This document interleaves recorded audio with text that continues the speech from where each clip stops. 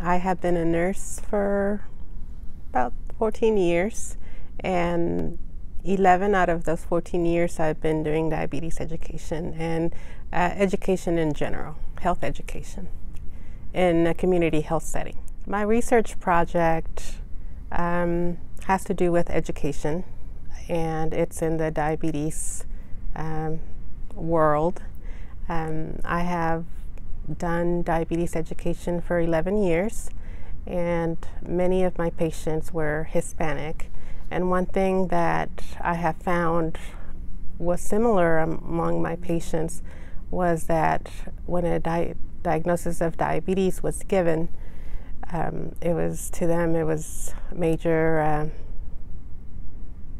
emotional. Um, it was it was like a death sentence, and many of them told me. Many of them said, you know, this is I'm gonna die.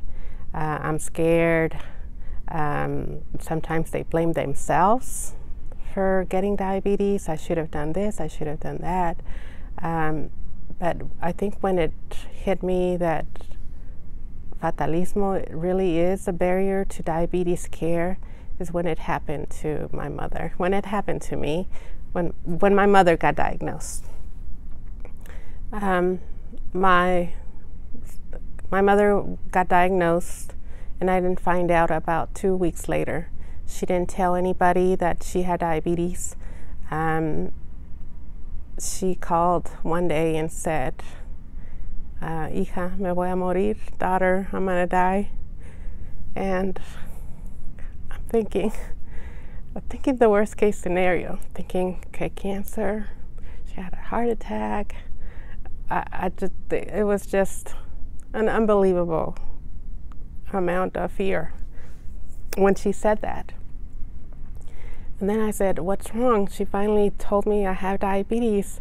And to me, the word diabetes was a relief because diabetes can be controlled.